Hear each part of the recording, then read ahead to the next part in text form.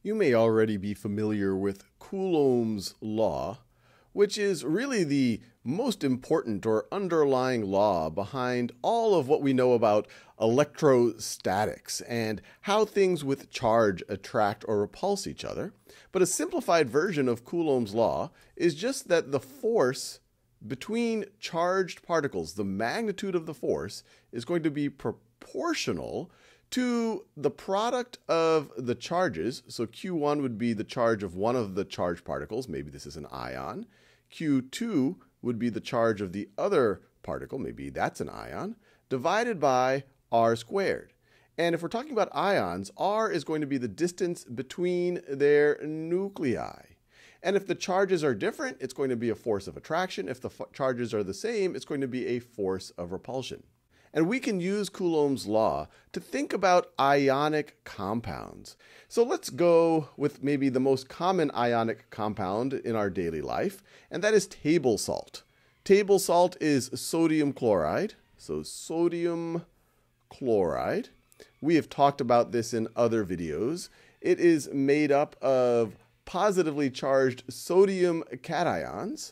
So you have an Na plus so sodium is a group 1 element. It's very easy to nab an electron off of it, and then it has a positive charge. And it's made up of a chloride anion, so Cl minus.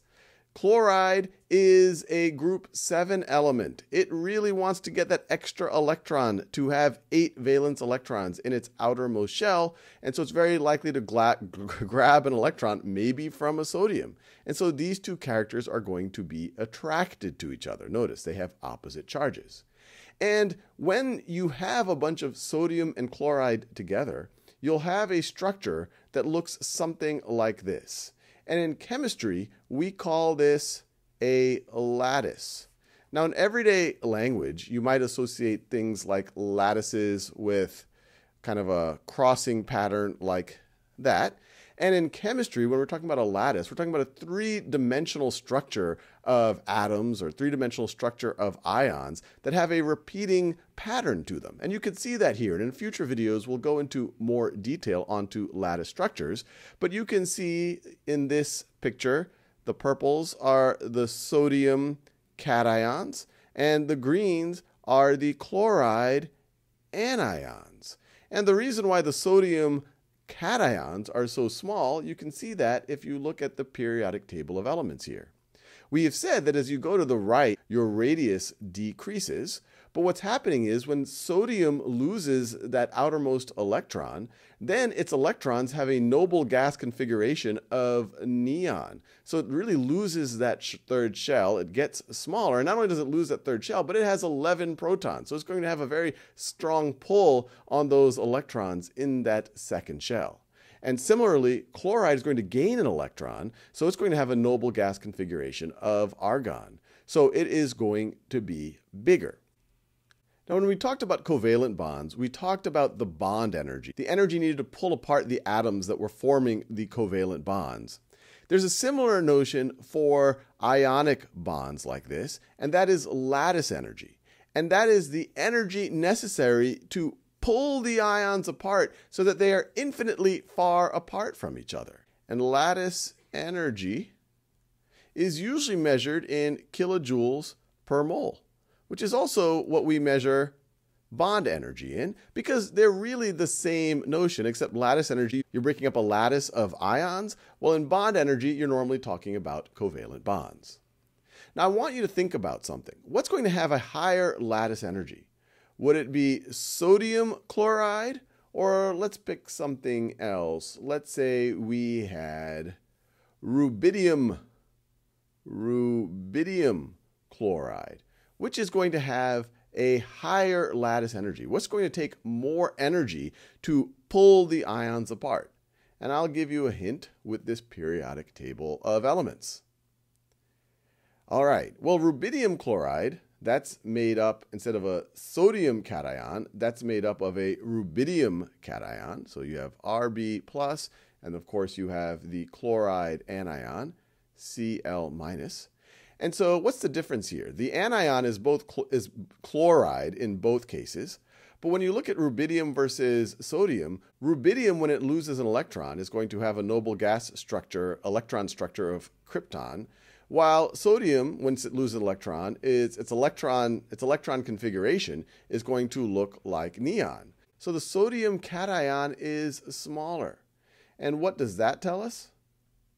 Well, if this one right over here, let me circle it like this, if this is smaller, and we have similar charges on top, you have a plus one and a negative one on top. That's the charges between the two ions. But now you have a smaller radius between the nuclei because sodium is smaller than rubidium. Well, as the radius goes down, the force goes up. So you're going to have stronger Coulomb forces in a lattice of sodium chloride than in a lattice of rubidium chloride. Because the force of attraction is stronger, it's going to take more energy to pull it apart. So because of that, you're going to have a higher, higher lattice energy, lattice energy for sodium chloride than rubidium chloride. Now let's think about another ionic compound. Let's say we were to think about magnesium fluoride. F2. And this is made up of a magnesium cation that has a positive 2 charge, so 2 plus, in, in a lattice with a bunch of fluoride anions. So with a bunch of fluoride anions.